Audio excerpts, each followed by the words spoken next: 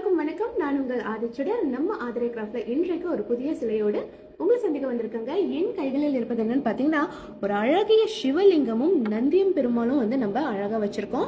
இந்த சிலை இரண்டையும் வந்து நம்ம இப்போ ஒன்னொன்னா பார்க்க போறோம். ஓகே நீங்க சிவலிங்கம் பாத்தீங்கன்னா கீழ்ப்பகுதியில அழகா வந்து இந்த பேஸ்மெண்ட் நீங்க பார்க்கலாம். ஒரு லோட்டஸ் டிசைன் கொடுத்துருக்காங்க. அதற்கு மேலாக தான் இந்த ஆவுடை பதிச்சிருக்காங்க. அந்த ஆவுடைக்கு மேல் வந்து நீங்க பாத்தீங்கன்னா லிங்கம். அதற்கு மேலாக நீங்க பாத்தீங்கன்னா இந்த நாகாபரணம்.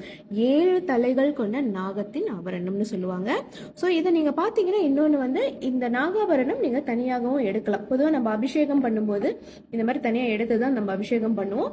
ஸோ நீங்க இது தனியாகவும் எடுக்கலாம். இல்லை நீங்க ஒரு செட்டாகவும் நீங்கள் யூஸ் பண்ணிக்கலாங்க. இது உங்களுக்கு இப்படி வரும்.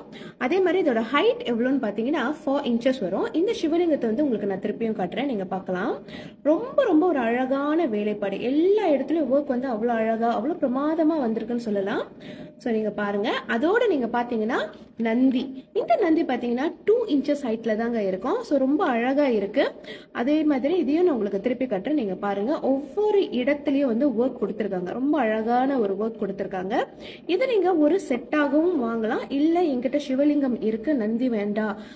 இல்லை இல்ல நந்தி மட்டும் போதும் அப்படின்னு நீங்க சொன்னாலும் தனித்தனியாகவும் வாங்கி கொள்ளலாம். அது உங்களோட விருப்பம் தாங்க ஸோ இது இரண்டுமே நம்ம கிட்ட இப்ப நிறைய ஸ்டாக் அவைலபிளா இருக்கு.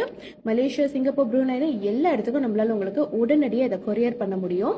நீங்கள் எங்களை புலனம் வாயிலாக தொடர்பு கொள்ளுங்கள். பொதுவாக புலனம் வாயிலாக தொடர்பு கொள்ளுங்கள்னு சொல்லும்போது நீங்க வந்து அங்க எங்களோட பயோவில் வந்துட்டு ஒரு லிங்க் இருக்கும். அப்படி அந்த லிங்க் கிளிக் பண்ண முடியலன்னா கூட நீங்க அதில் அந்த எண்கள் பார்த்து நீங்க எங்களை தொடர்பு கொள்ளலாங்க. நன்றி வணக்கம்.